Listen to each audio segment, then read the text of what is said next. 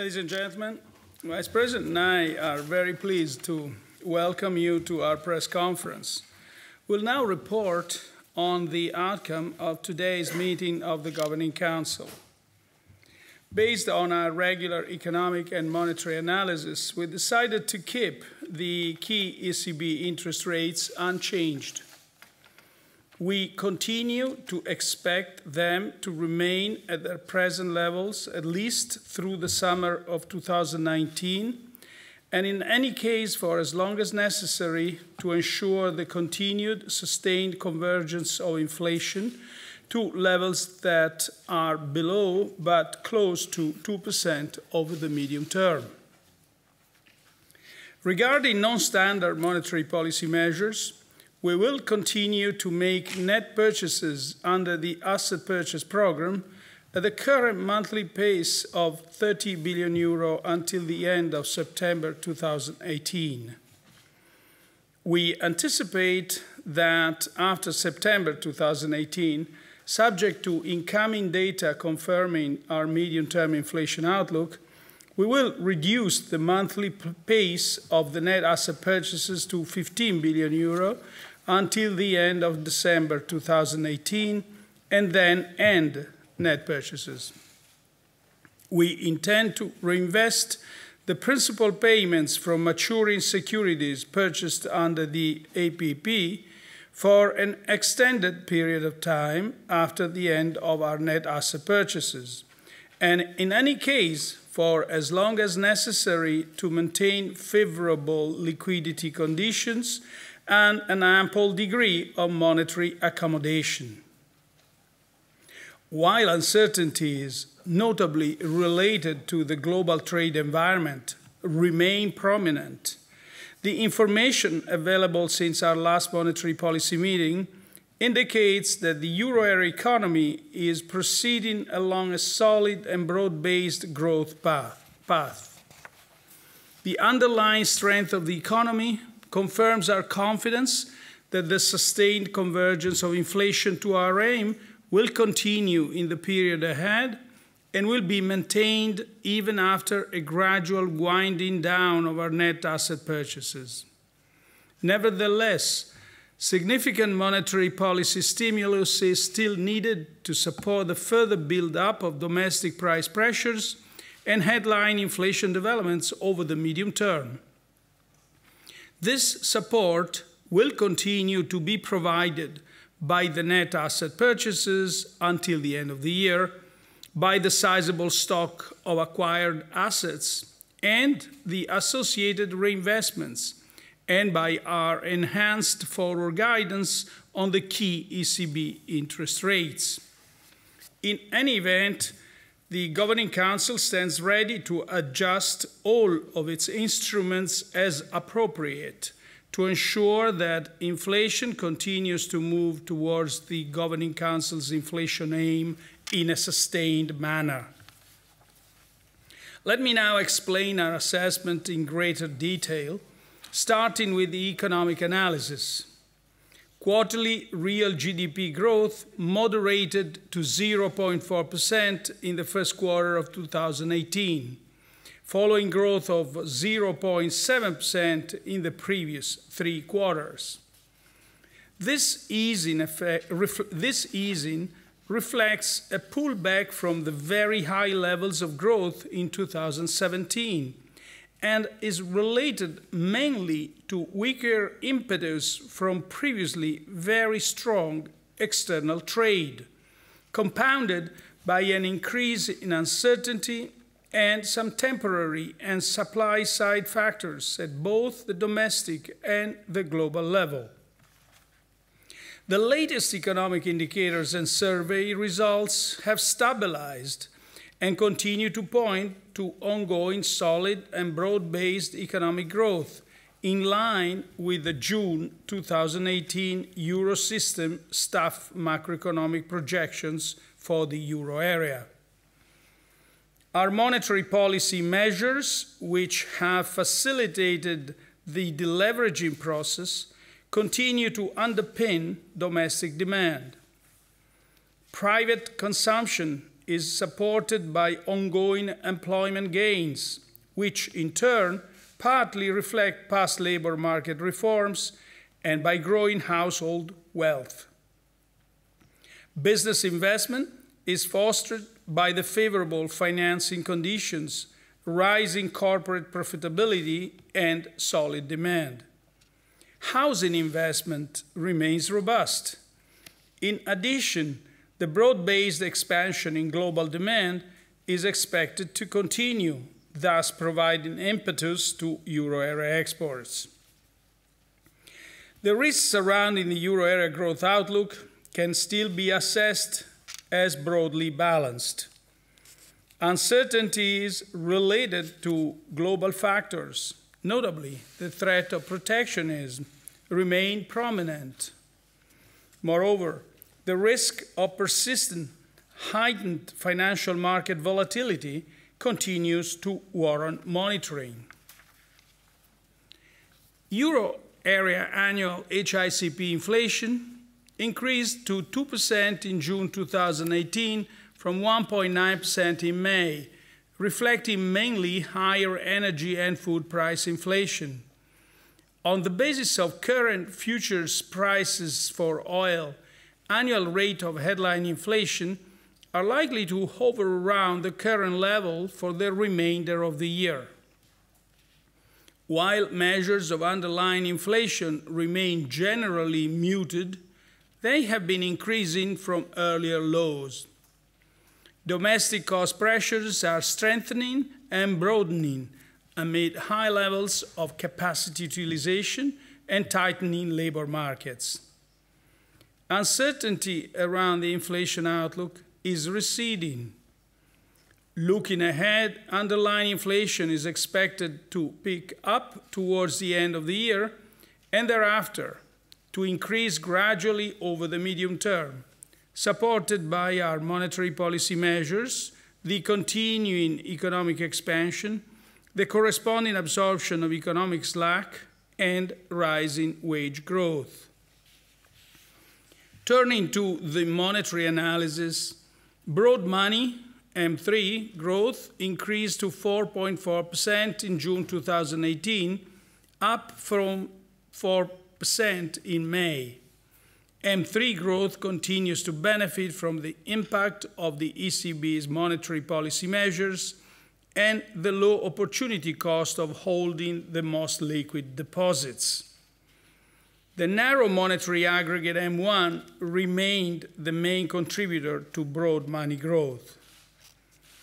The recovery in the growth of loans to the private sector observed since the beginning of 2014 is proceeding. The annual growth rate of loans to non financial corporations rose to 4.1% in June 2018 after 3.7% in the previous month, while the annual growth rate of loans to households remained unchanged at 2.9%. The Euro Area Bank Lending Survey for the second quarter of 2018 indicates that loan growth continues to be supported by easing credit standards and increasing demand across all loan categories.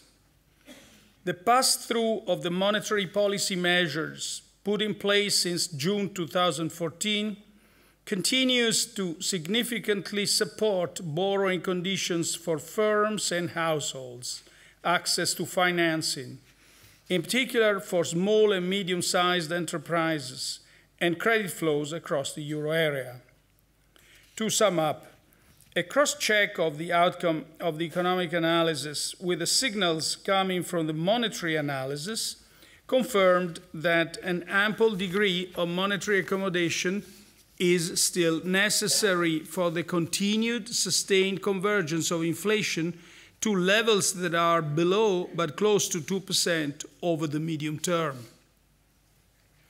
In order to reap the full benefits from our monetary policy measures, other policy areas must contribute more decisively to raising, to raising the longer term growth potential and reducing vulnerabilities. The implementation of structural reforms in euro area countries needs to be substantially stepped up to increase resilience, reduce structural unemployment, and boost euro area productivity and growth potential. Regarding fiscal policies, the ongoing broad based expansion calls for rebuilding fiscal buffers. This is particularly important in countries where government debt remains high. All countries would benefit from intensifying efforts towards achieving a more growth friendly composition of public finances. A full, transparent, and consistent implementation of the Stability and Growth Pact and of the macroeconomic imbalance procedure over time and across countries remains essential to increase the resilience of the euro area economy. Improving the functioning of the Economic and Monetary Union remains a priority. The Governing Council urges specific and decisive steps to complete the banking union and the capital markets union. And we are now at your disposal for questions. Mr. Koranyi. Thank you, Balázs Koranyi from Reuters. Uh, Mr. Draghi, in the assessment you just presented, did you have a chance uh, to review the agreement struck between the EU Commission President and uh, the US President overnight with regard to trade? And is this assessment um, only regarding sentiment, regarding protectionism, or are you seeing an actual impact uh, on growth already materializing? The second question is about um, is a did you discuss question. Uh, did you discuss your reinvestment policy today? And if so, could you give us any kind of color about this discussion? What decisions need to be made, and, what, and when should we expect a decision on reinvestment policy? Thank you. Uh, well, on the first question, really, we, took, we basically took note of that. We, we, it's too early to assess the actual content I understand that today, this afternoon, the Commission is having a meeting exactly to this, uh, for this reason. Uh, so we, we took note of this, uh, of this uh, meeting, and uh, if one can say sort of something that's kind of general, it's a good sign. It's a good sign because it's, in a sense, it, it shows that, uh, it shows that there is a willingness to discuss trade issues in a multilateral framework again. Uh, but it would be very, it would be difficult for us to go beyond that because we really don't, don't know the substance of it. Uh, no, we didn't discuss the reinvestment policy today.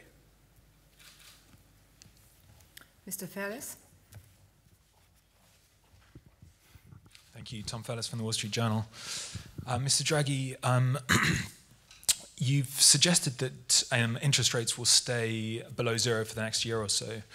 Um, how comfortably are you making those kind of predictions or forecasts so far into the future, given that inflation is already above target and you sound relatively confident about the outlook for the economy and inflation? Um, my second question is um, so the ECB is holding rates below zero while the Fed is raising rates quite quickly. I think it plans another two rate hikes this year. That's leading to a divergence between the, the two central banks, which has also weighed on the euro in the last few months. Uh, do you think President Trump has a point when he complains about how Europe is weakening its currencies? Thank you. Thank you. Uh, on first question, let me stress that uh, our enhanced forward guidance, which is both date-based and state contingent, conveys the Governing Council's expectations that key ECB interest rates, as, uh, as I said in the introductory statement, um, will remain, we expect them to remain at their present levels at least through the summer of 2019, and in any case for as long as necessary to ensure the continued sustained convergence of inflation to levels that are below but close to 2% over the medium term. Now, this enhanced forward guidance has been very effective, as broadly uh, reflected in surveys, market commentary, and market prices, in aligning expectations of the future rate path with the anticipations of the Governing Council. So at this stage, we don't see the need to modify or to add new language to our forward guidance on rates. Now, on the second question, um, different monetary policies do reflect the response of monetary authorities to different positions in the business cycle. There's no, no the, we, we always said, we said several times that the exchange rate is not a policy target, that it's important for growth and price stability, and there is an international consensus that's been going on now for years, uh, for decades perhaps, about uh, abstaining from competitive devaluations of, uh, of, of, sorts. So it's, um, that's, that's, the, that's the answer. Incidentally, if one looks at the nominal effective exchange rate of the euro vis-a-vis -vis all the partners, all the trading partners, as a matter of fact, the euro has appreciated considerably over the last year, year and a half. Thank you. Mr. Skolimowski. Uh, Piotr Skolimowski, Bloomberg.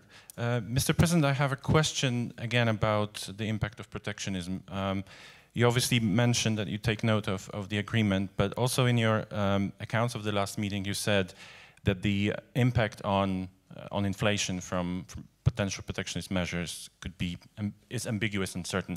Have you uh, took a, like a deeper look into it, and maybe you have already answers of, of a potential impact from from those uh, effects? Um, and my second question, I know that you mentioned you didn't discuss reinvestment policies, but could you give us a broad outline on, on sor sort of your red lines where um, reinvestment policies won't change um, in, in the second phase when, when the net asset purchases are over? Thank you. Thank you. Uh, on protectionism, the, no, we, we haven't done any further analysis than I've, I, I have outlined last time. Uh, and, and, and, the reason is that uh, we basically have to see exactly what's going to be implemented.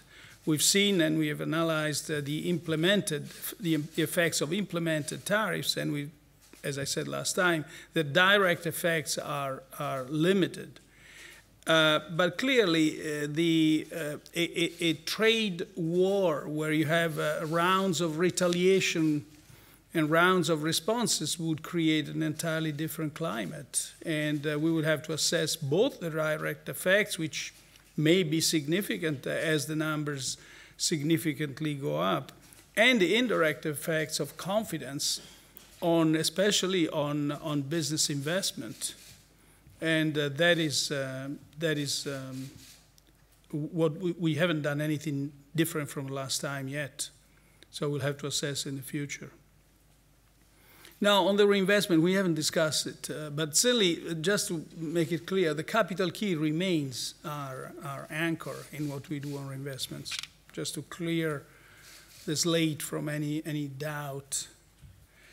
Um, that's it. Thank you. Um, Ms. Weisbach. Um, Annette Weisbach with CNBC.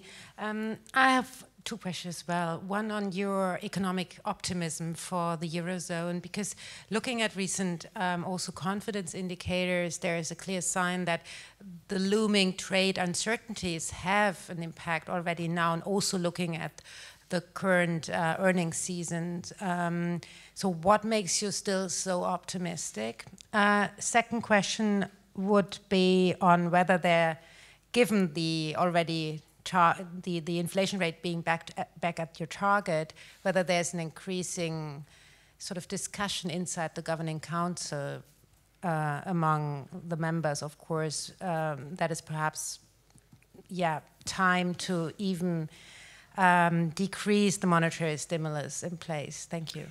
Let me uh, just, uh, I think the best way to answer both questions is to give you a short account of what's been our discussion today. Uh, well, first of all, um, the Governing Council took stance, took note that there hasn't been much of a change since last time. Has not been a change in the assessment of the outlook of the medium-term outlook for uh, growth or inflation, nor in a change in uh, the monetary policy message. Uh, but the first point is that um, it's now clearer than it was before that the moderation in growth, and here I'm addressing your first question, depends essentially on the pullback from the unusually strong growth rates that we've seen in the first, the last three quarters last year, which were caused by predominantly by a, an unusually strong uh, export performance. And, uh, and so now the, um, there is a pullback, and the export performance is much less uh, strong than, than it was before. Some sluggishness, sluggishness of, in the first quarter is continuing in the second quarter, but I would say all, if most, almost all indicators have now stabilized at levels that are above historical averages. The, uh, so the overall, the risks to growth have been uh, assessed as still broadly balanced.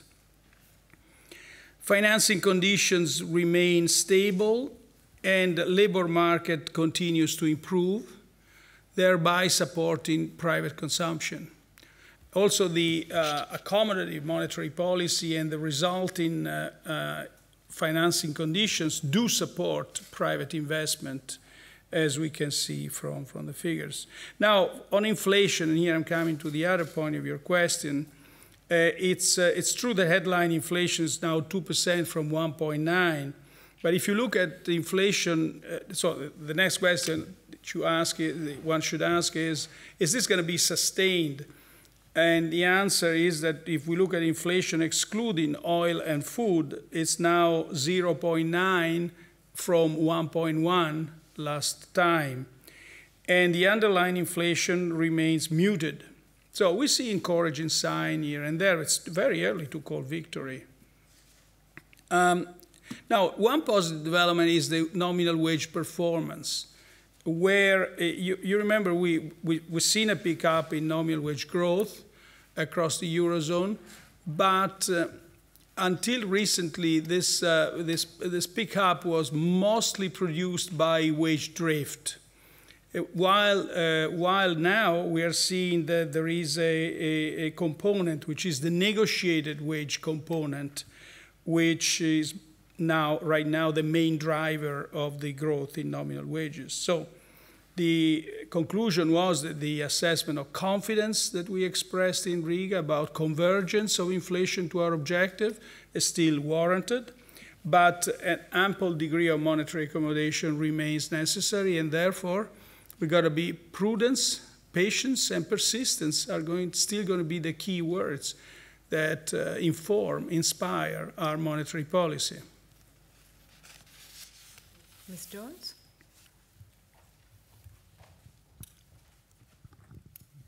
Um, Mr. Draghi, um, two questions, if I may. First, just to touch on the point that you made about wages being a lot stronger than people maybe would have thought at the start of the year, and you've seen better negotiated pay deals. Um, I'd like your view on how you think this will impact domestic demand. Is it going to have an impact on domestic demand that's strong enough to offset the negative effects that we've seen of weaker trade figures? Or would you still expect to see some slowdown in growth in the second half of this year? Um, and secondly, some people have said there's a little bit too much ambiguity about the phrase through the summer and the changes to some of the translations of the monetary policy statement have, have raised these issues again. So, would you care to clarify just what is meant by through the summer? Is it at least until the end of the summer when rates are expected to remain on hold until, or is it at least until the summer of next year? Thank you. Thank you. First of all, uh, I'll address first the second question. Uh, first of all, let me clear that the only version that conveys the policy message is the English version. And we conduct our governing council in English and agree on an English text. So um, that's what we have to look at. The, um, now, on, uh, on the, as you've seen, the term structure of money market rates uh, reflects, the, reflects two things. Reflects the pure expectations of the future path of the policy rates uh, but reflects also the uncertainty that surrounds the evolution of the economy.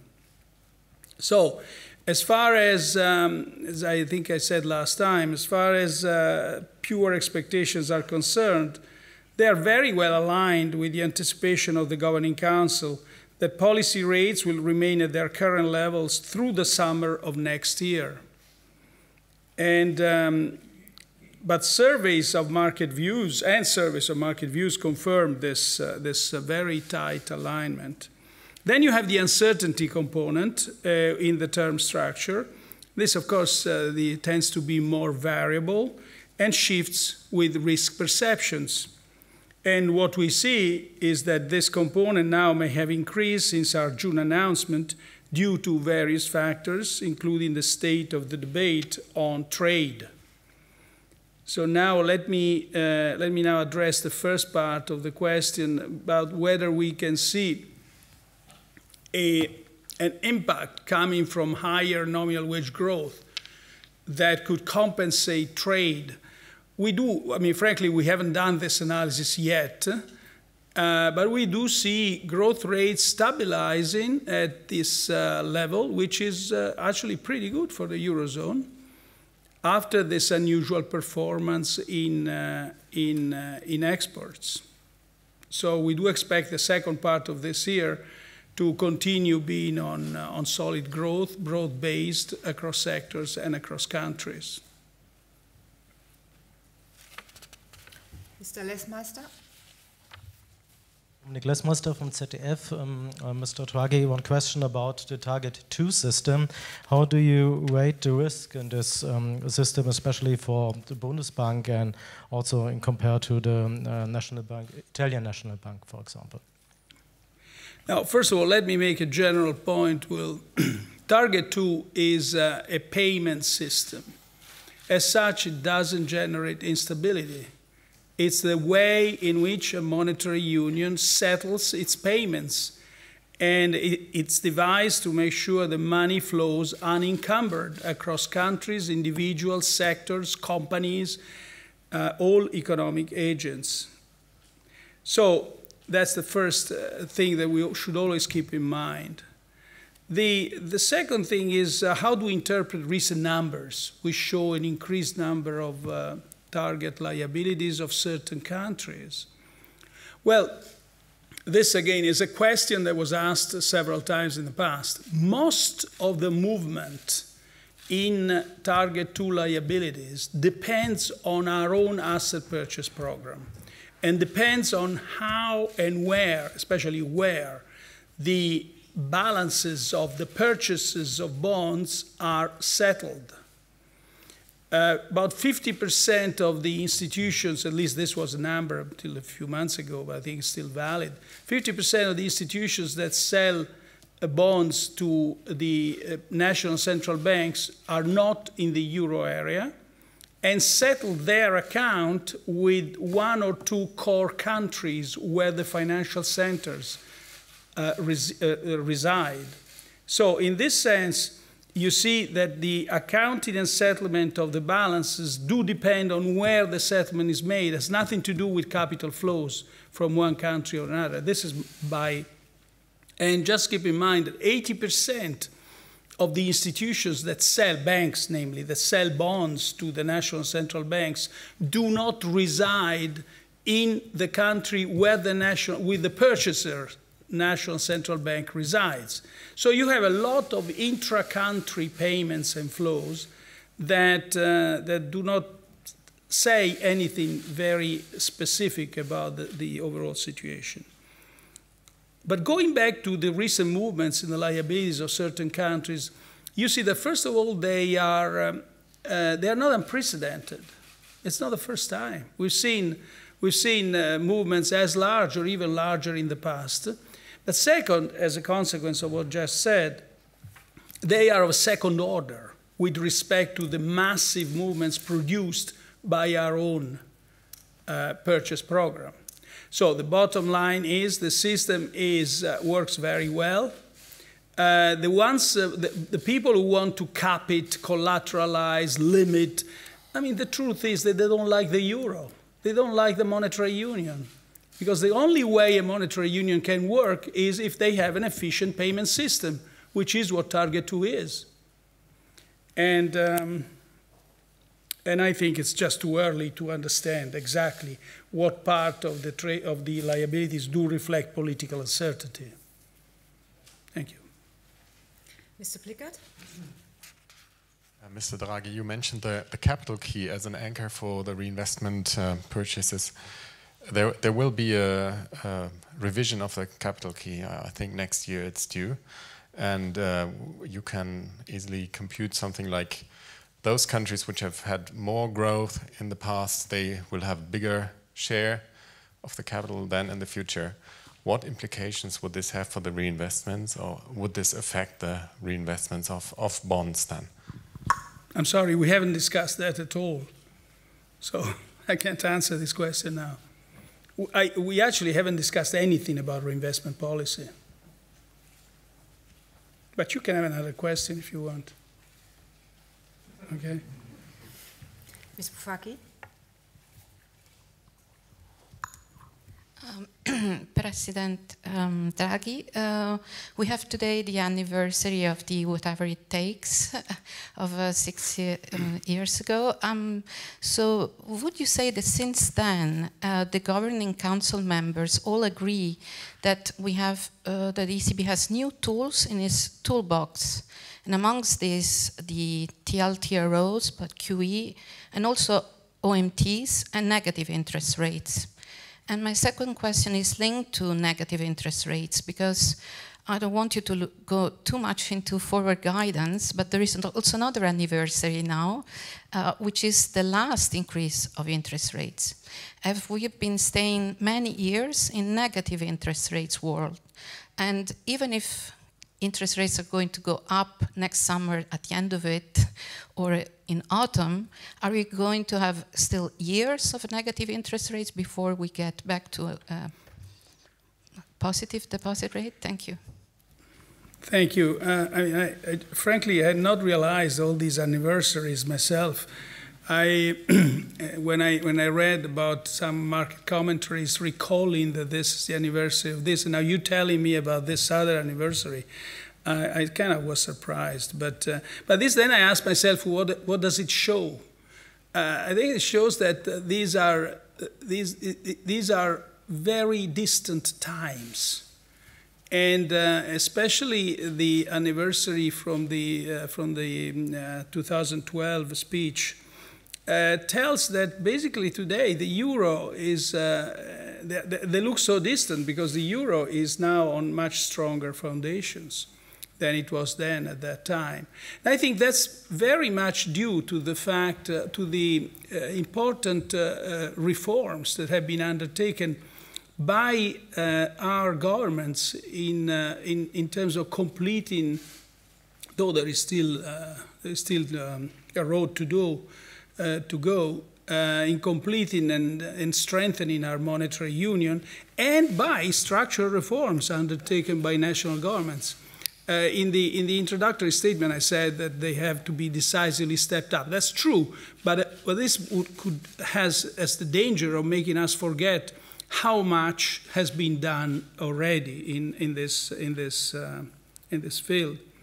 So, uh, but it's true, it's true. The, the, the ECB now is a different central bank. It's true what you said. It has a very different uh, and much, much richer set of monetary policy tools. And um, so that is, uh, that's really important. And, but the key, the, the, the real reason for, uh, for the governing council to be, to be proud is that it has delivered price stability. It has delivered price stability in uh, the most difficult circumstances through, through all these years. And uh, I'll, st I'll stop here because I speak too much about these anniversaries. Thank you. Mr. Huyton?